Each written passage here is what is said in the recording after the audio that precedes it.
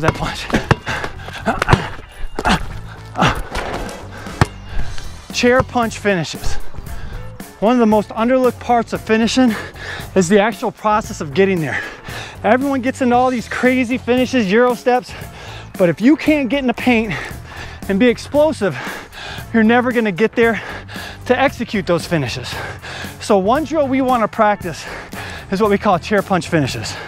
Now, one thing you'll notice is, is when I come in, whenever I attack that defense, whatever it is, I always fall into sprinter stance. And that's where that punch occurs. The boys are gonna come out here and they're gonna get in their sprinter stances. Go ahead, boys. Now, the common tendency is to push rather than punch. So what I mean by push is, if MJ's here and he throws that ball out in front of him, but it's not in his hand. He wants high ball and hand time in the paint. So when he's down here, watch how long that ball stays in that hand. Boom. Okay, that's a guard power dribble. And that's what MJ's working hard to execute right here.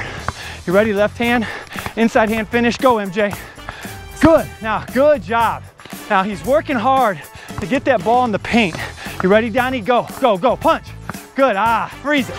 See, Donnie's dribble was here, and I want that dribble in the paint.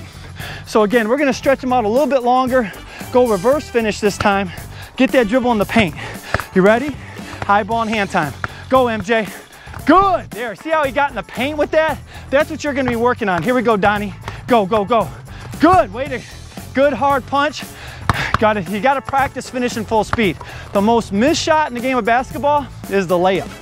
No one misses layups in warm-ups. They don't miss layups in workouts. And they get in the game and they miss them like crazy. The problem is, is when they're they're not practicing going fast enough. When I practice finishing, I, I want to go full speed to the rim. I should end up back here on those finishes because I'm jumping, I'm moving as fast as I can. So give me one more. Let's see it. MJ, let's finish strong. Good punch.